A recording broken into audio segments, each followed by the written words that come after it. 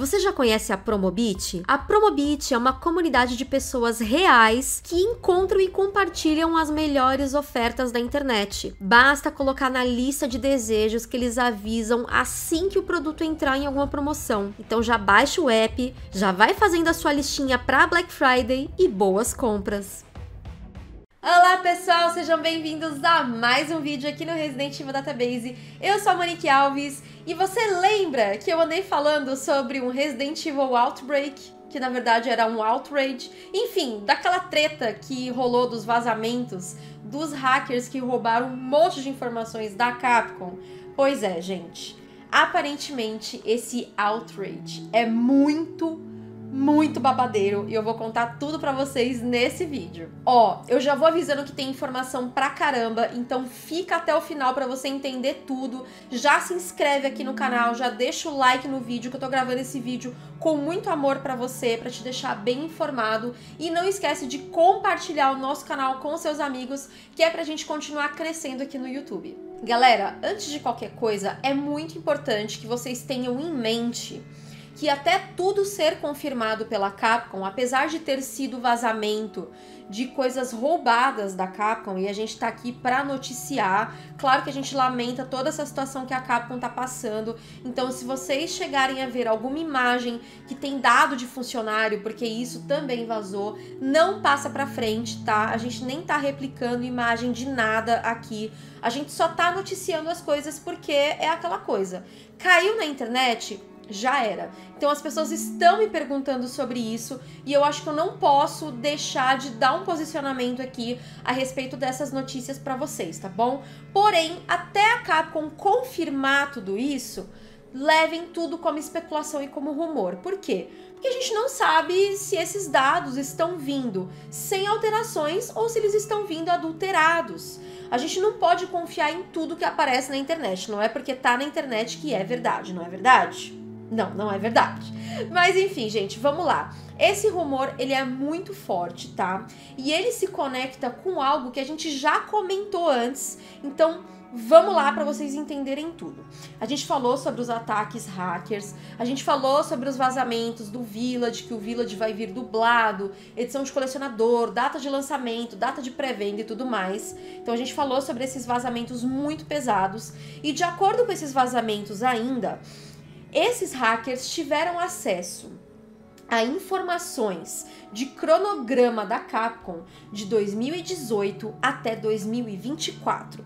Eu lembro que eu comentei com vocês, vocês vão lembrar disso. Quem assistiu a live, quem não assistiu, eu vou deixar linkado aqui nos cards. A gente fez uma live falando dos vazamentos do Village. A gente falou sobre o Infinite Darkness, que é aquela série de, anima de animação lá da Netflix, também com a Capcom e tudo mais.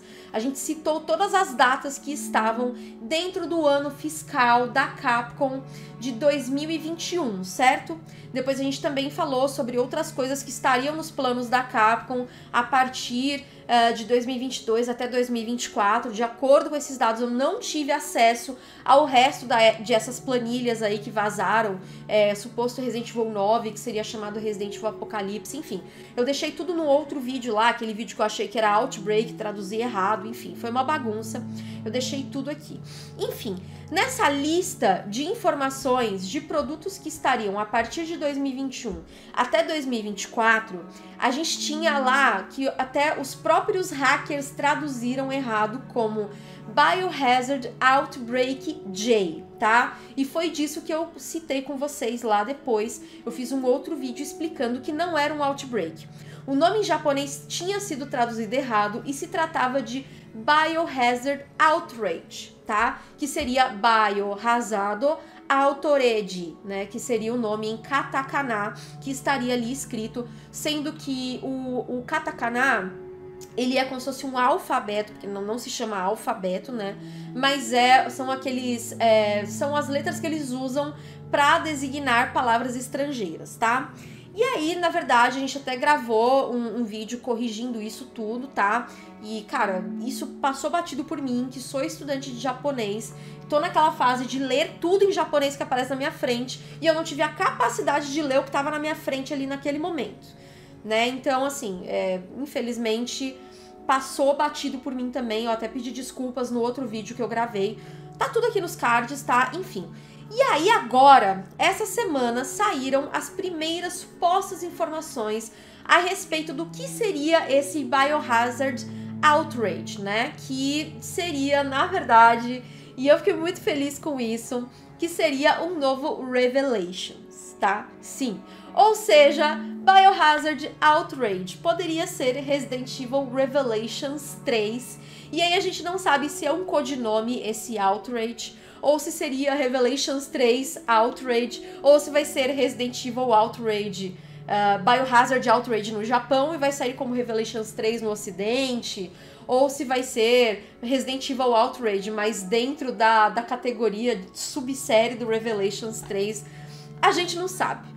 Mas de qualquer forma, segura esse forninho, porque agora o negócio vai ficar interessante, tá, gente? se segura na cadeira. Recentemente, eu andei falando, principalmente lá no nosso site, o residentivildatabase.com, inclusive visitem o nosso site, coloca ele de página inicial, porque às vezes a notícia demora a vir aqui pro canal, porque às vezes eu não tenho tempo de, de gravar, ou então eu já tenho vídeos é, prontos para sair na semana e não vai dar tempo de gravar um vídeo para sair sobre isso, ou então eu tô apurando as coisas ainda. Então fica ligado no nosso site também, porque às vezes as notícias saem lá primeiro, tá?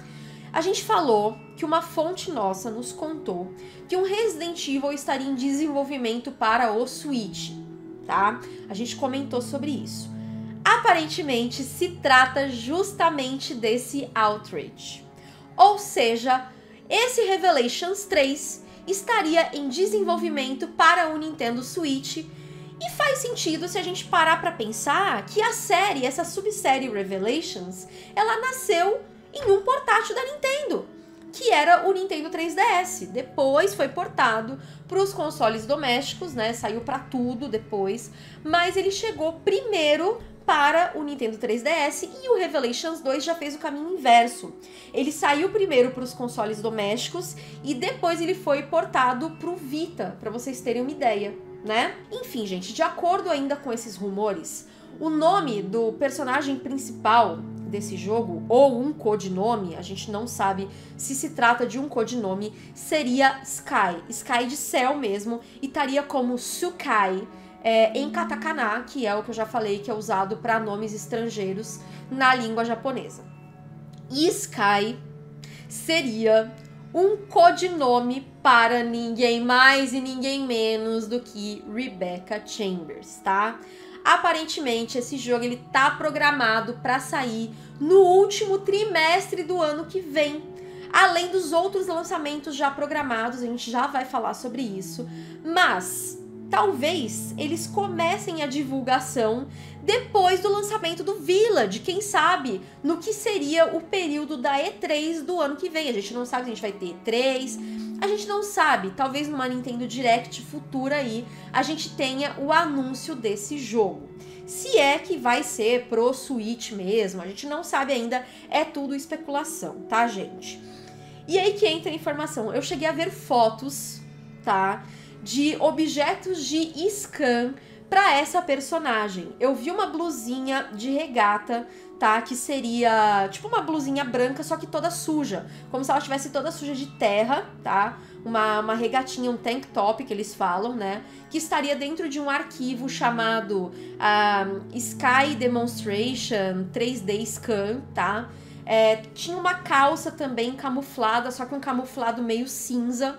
Dá para notar que é uma roupa feminina, tá? E tinha também no arquivo que eu vi, que infelizmente eu não posso replicar as imagens aqui, um cartucho de bala de escopeta com a ponta vermelha. Então era aqueles cartuchões grandões assim, com a ponta vermelha. Ele preto com a ponta vermelha.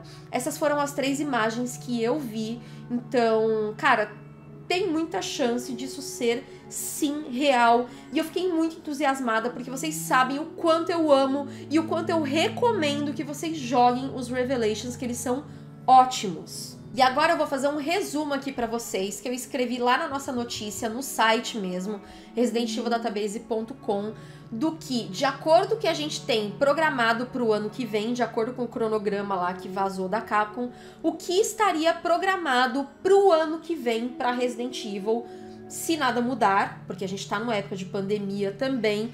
Eu acredito que não, eu acredito que algumas coisas aqui não vão mudar, mas vamos lá, ó. Em janeiro, a gente teria o início da pré-venda do Village e a adição do Resident Evil 7 na Plus Collection do PlayStation 5. Lembrando que o 7, o Resident Evil 7, ele já tá no Xbox Game Pass, tá? Bom, de acordo ainda com esses, esses rumores e esse cronograma, em fevereiro a gente vai ter um suposto Guillotine, um jogo que tá com o codinome de Guillotine, que seria guilhotina, ele tá como Guillotine, tá? Lá no, na planilha da Capcom. E a gente também especula ser um Resident Evil de acordo com algumas informações que eu recebi de algumas fontes minhas, tá? E várias fontes estão falando a mesma coisa, então não é possível que não tenha algum fundo de verdade, tá? Em março, o Resident Evil 7 entraria para o Google Stadia. Em abril, no fim de abril, a gente teria o lançamento do Resident Evil Village e um suposto projeto envolvendo Resident Evil 4 em realidade virtual e ele tá como óculos Bio 4 óculos, tá? Só que não é Bio 4 óculos, tá? Até a gente especulou, só que o óculos ele tá entre parênteses, então eu não sei se eles estão se referindo a uma marca registrada ou se seria Bio 4 Resident Evil 4 ou Resident Evil para óculos, que seria um Resident Evil aí é, em realidade virtual. Eu até depois gravei um vídeo com o pessoal da Central, eu vou deixar linkado também aqui nos cards, comentando sobre esses vazamentos e depois eu fiquei pensando a respeito disso. Eu não acredito que eles vão pegar o Resident Evil 4 lá de 15 anos atrás e meter o louco de colocar uma versão em VR, tá? Porque a Capcom não teve nem a capacidade de pegar os arquivos de vídeo, dos vídeos lá das cutscenes, do Separate Ways e colocar com qualidade boa, tá, gente? Tipo, o Separate Ways, se você jogar hoje no seu PS4 ou no seu Xbox One, as cutscenes estão com gráfico de PS2. Tá? Então, será que a mesma Capcom ia pegar os arquivos do Resident Evil 4 e meter o louco de colocar uma realidade virtual de um jogo de 15 anos atrás? Eu acho muito difícil. Então, talvez, de acordo com alguns é, insiders aí, o Dusky Golem, que vocês tanto gostam e que eu gosto muito de conversar com ele também, então talvez ele tenha razão nisso, de que talvez a partir do ano que vem a gente tenha o início da, do anúncio e do marketing desse Resident Evil 4 Remake. E se eles lançarem, tipo, um marketing focado num VR? Desse Resident Evil 4. De repente, um tour pelo cenário que está sendo desenvolvido ali pela M2, que é a mesma desenvolvedora do Resident Evil 3 Remake, que está cuidando agora do 4 Remake. Poderia ser. Eu acho que é isso. Eu não acho que eles vão pegar o 4 clássico e meter um VR, porque não faz sentido, tá? E aí, em maio, a gente teria também a estreia dessa série de animação, a Infinite Darkness, que para nós aqui vai vir com o nome No Escuro Absoluto, em parceria com a Netflix, tá? A Netflix vai meio que distribuir e quem tá produzindo mesmo é a Capcom com um estúdio chamado TMS Entertainment, que também produziu a animação do Resident Evil Vendetta, tá?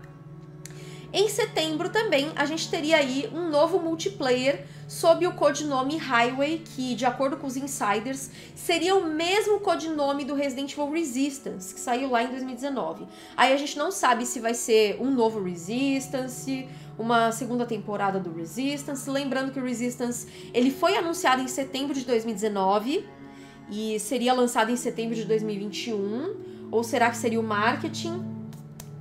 Não sabemos também, tá?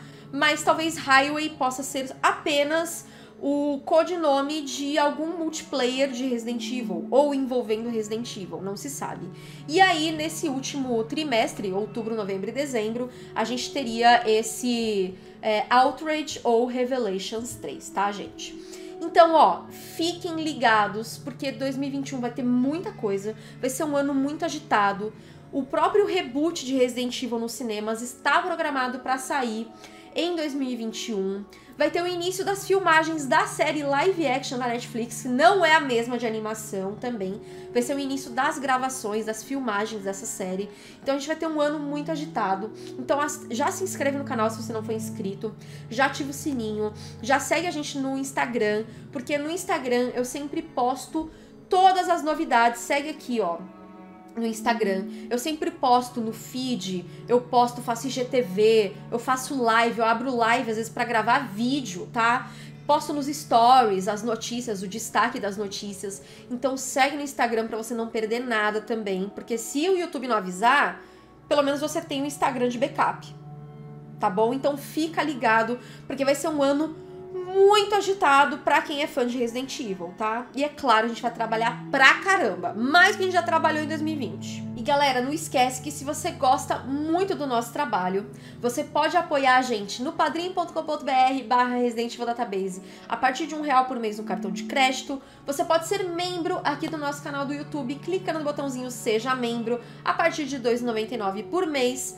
Você também pode nos apoiar lá na plataforma roxa, no site roxo também, cujo endereço está aqui na tela para vocês, lindamente, bem gostosamente aqui para vocês tá? Vocês podem assinar o Amazon Prime e aí vocês vão ter todos os benefícios do Amazon Prime e ainda poder dar o sub para nós a partir de R$ 9,90 por mês, tá? E comenta aqui embaixo tudo que vocês acharam das especulações desse vídeo. Lembrando, é tudo especulação, tudo rumor, até que venha a confirmação oficial, porque às vezes, por causa até da pandemia, eles podem usar essa desculpa também, que não é uma desculpa qualquer, né? Também, né, gente? para mudar, fazer mudanças no cronograma aí, tá bom, gente? E lembre-se também que, né, quem conta um conto aumenta um ponto. Pode ser que eles possam ter alterado coisas ali no arquivo em relação a esse Resident Evil Apocalipse, Resident Evil Rank, que saiu, que eu falei no outro vídeo que eu deixei aqui também. Enfim, faz o Dataflix para você entender tudo que tá acontecendo desses vazamentos. A gente tá cobrindo tudo aqui. Às vezes eu demoro para trazer o vídeo, porque eu tô apurando com as minhas fontes também para ver se eles trazem alguma coisa de diferente para mim. Então fiquem ligados aqui no canal, beleza? Eu vou ficando por aqui. Um beijo para todo mundo, até o próximo vídeo e tchau!